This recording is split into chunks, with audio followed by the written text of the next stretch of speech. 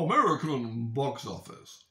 This is how they grade how popular, successful, viable a movie is. And it used to mean something.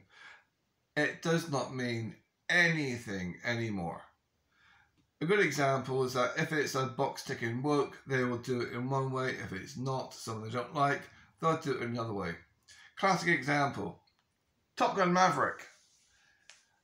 Their box office is down as the take for the first month in America.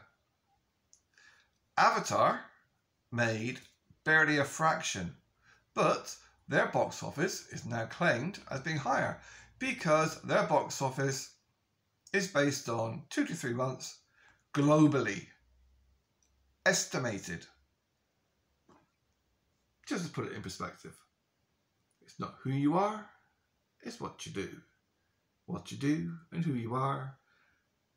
And other words that mean fuck all